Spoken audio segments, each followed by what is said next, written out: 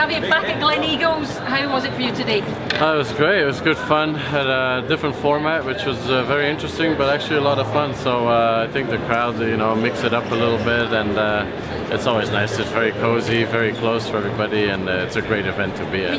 You guys have a good relationship with each other, but you still like to win, right?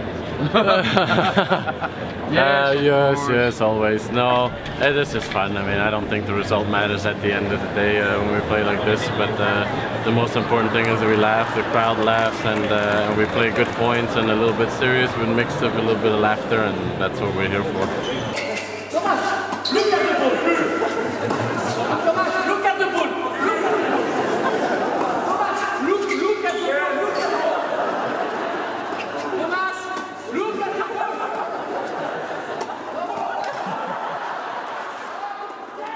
You played with these guys. What was it like?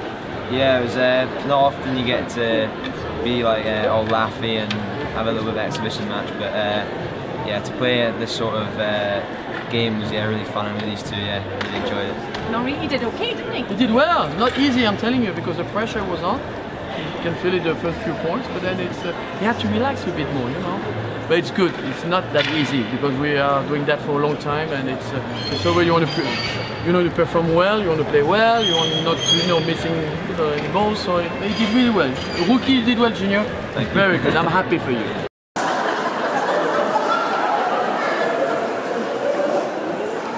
I know it's the last one.